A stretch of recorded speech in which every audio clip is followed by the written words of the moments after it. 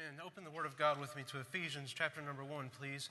Ephesians chapter one in your Bibles. I'm grateful for this opportunity to stand behind this pulpit that God has used to help and change my own life. I appreciate Pastor Sexton and this great privilege.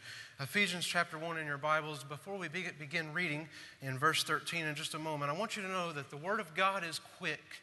That word quick means that it is alive, it is powerful, and it's sharper than any two edged sword piercing even to the dividing asunder of soul and spirit and of the joints and marrow, and is a discerner of the thoughts and intents of the heart.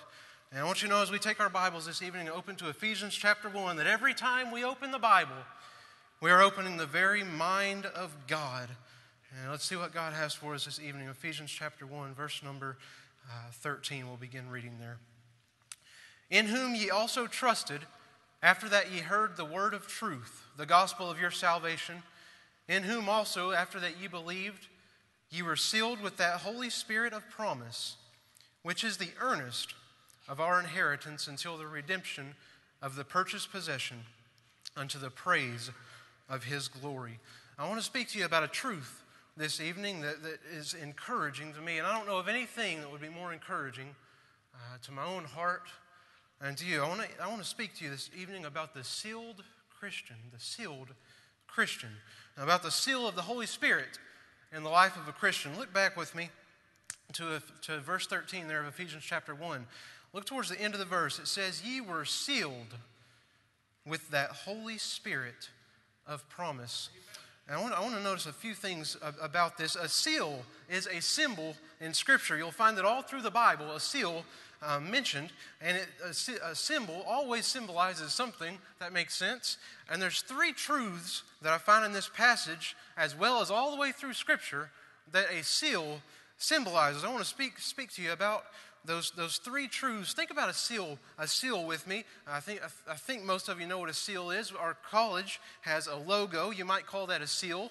A lot of times somebody may have gotten a Hallmark card from somebody. That's a good thing, right? On the back of those Hallmark envelopes or on that, those cards, you'll see a seal of Hallmark. There's a little crown looking thingy there, and it'll say Hallmark under it. That's the seal of Hallmark. When you see that, it represents something, it's a symbol. And I want to talk to you about some things that the Holy Spirit symbolizes in our lives as the seal in our lives. I want you to notice first that there, it symbolizes perfect finality, perfect finality. Look back at verse number 13. Now let's read the whole verse here. It says, In whom ye also trusted, after that ye heard the word of truth, the gospel of your salvation. So Paul's writing to the Ephesians church, church here, and he's telling them that ye heard the word of truth, the gospel of your salvation. Then it says, In whom also, after that ye believed, immediately you are sealed with that Holy Spirit of promise. Really, it's at the same instance. As soon as a person trusts Christ, they're sealed by the Holy Spirit of God. God places a seal upon that person at the moment of their salvation.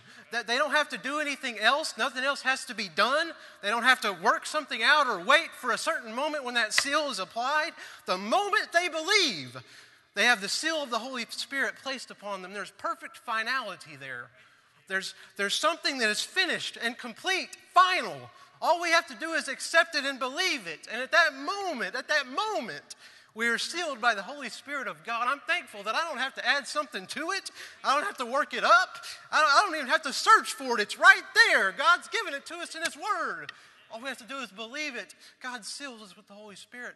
Look, there's not some kind of seal of baptism. There's not, you don't have to join the baptism association. You don't have to join the church churchgoers association. You don't have to be in the good workers club. No, no, no. All we have to do is believe that gospel. At the moment we believe it, there's finality there. God places that seal upon us. There's perfect finality to it. Look back at our text here. Look at verse number 14. I want to show um, show you something there. Uh, verse number 14, which is the earnest of our inheritance until the redemption of the purchased possession unto the praise of his glory. I want to, um,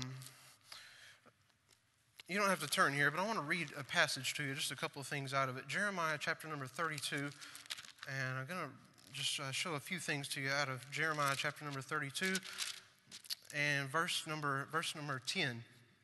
this is talking about a field that was basically purchased. And it says in verse number 10 of Jeremiah 32 And I subscribed the evidence and sealed it, and took witnesses, and weighted him the money in the balances. We're not going to read through this whole passage, but all through this passage, the word evidence, the word witnesses, uh, evidence, evidence mentioned over and over again, talking about this seal. It says he took the money and sealed it, that he purchased that field, and that was done, and it was sealed, it was finished, final. There was perfect finality to it. Psalm 22 is one of the messianic psalms, probably the most descriptive of Christ's death. At the end of that psalm, it says, He hath done this. The gospel according to John, chapter 19, verse number 5. While Christ was hanging upon the cross, he said and cried out, It is finished. And in the book of Revelation, two times it is said, It is done. I want you to know it's complete, final. There's perfect finality to it. Secondly, I want you to notice there is a promised security. A promised security. Look at verse number 14 again in Ephesians 1.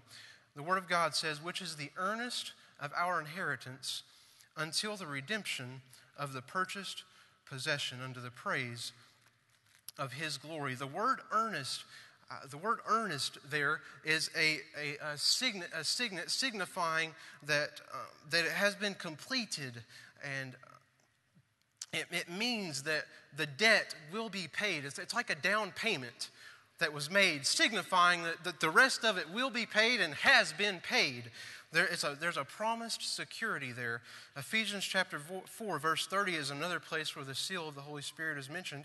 It says, And grieve not the Holy Spirit of God whereby ye are sealed. Notice these last, this last expression unto the day of redemption. We are sealed unto the day of redemption, not just until tomorrow or a week or two from now, but unto the day of redemption, the day that God calls us home.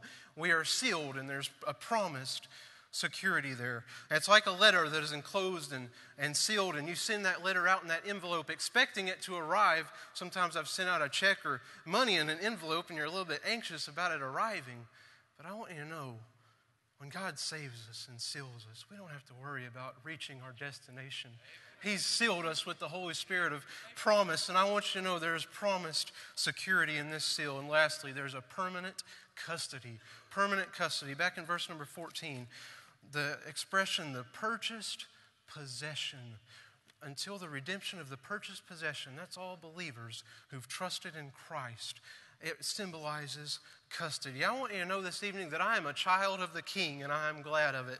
John chapter 15, verse 26, verse 26 says, But when the Comforter is come, whom I will send unto you from the Father, even the Spirit of truth, which proceedeth from the Father, the Word of God says, He shall testify of me. That was Jesus talking. He was saying, Hey, that Holy Spirit that's going to seal you, He's going to testify of me. I want you to know one day every one of us are going to stand before God. And if you're a born again Christian, you've been sealed by the Holy Spirit. You know what God's going to see? He's not going to see you, He's going to see that seal of the Holy Spirit. You know what that seal is going to say? It's going to testify of Jesus. And God's going to see Jesus Christ upon you and me symbolizing that we've been saved by the blood of Jesus Christ and will be in heaven with the Lord Jesus. In Pastor Sexton's book, Truths Every Christian Needs to Know, he wrote, He already has the residency, but we need to give him the elected presidency. We, he, has, he has custody of us. He is already in the throne room, but friend, we need to give him the throne. So often we talk about being Christians and one of God's children. So often we don't live that way. I want to challenge you live as a sealed Christian who has a seal of the Holy Spirit upon your life. Let's pray together. Our Father, we thank thee for thy word. I thank you for thy goodness to us.